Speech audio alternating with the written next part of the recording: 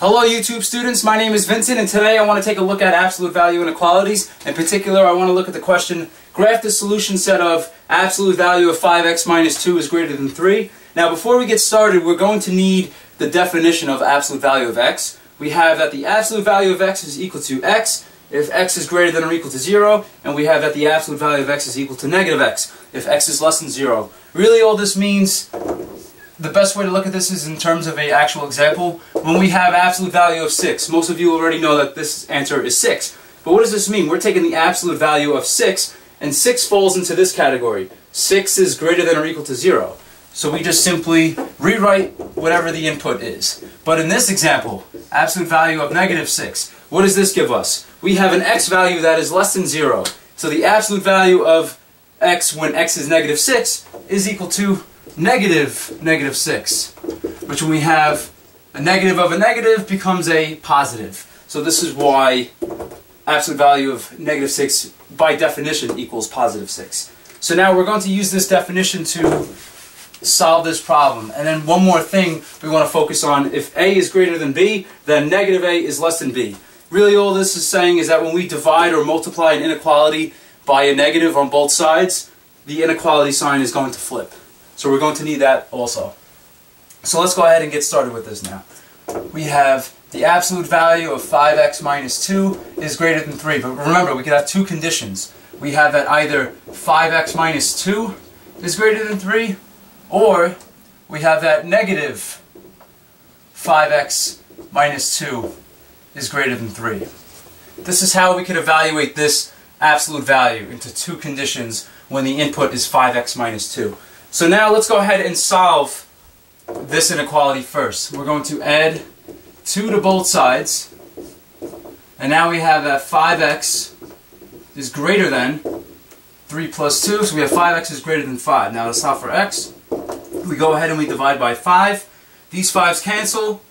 And we have that x is greater than 5 divided by 5, or x is greater than 1. This is going to tell us one piece of our solution.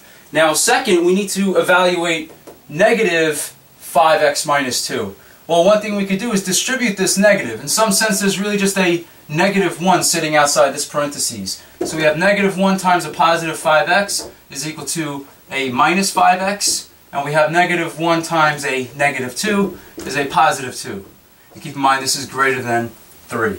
So now to solve this, what do we need to do? We need to subtract 2 from both sides. The goal is to isolate x. We have 2 minus 2 is equal to 0. And on this side, we have, so now we have minus 5x is greater than 3 minus 2. So minus 5x is greater than 1. Now to get x alone, what do we need to do? We need to divide by negative 5. But when we divide by a negative, remember this sign, this inequality is going to flip.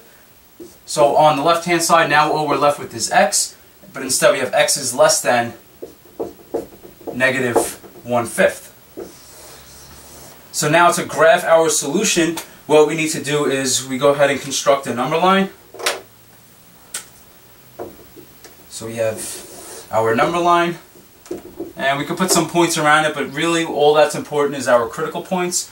And we're looking at, let's say we call this negative one-fifth. We go ahead and we make an open circle, because keep in mind we are not including the point negative one-fifth. When it's strictly less than, that means do not include the endpoint.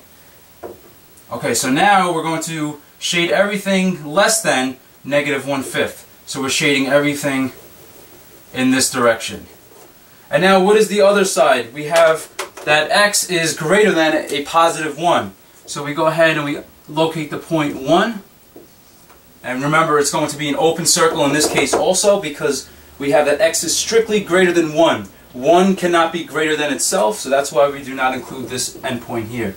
And everything greater than will go in the direction this way.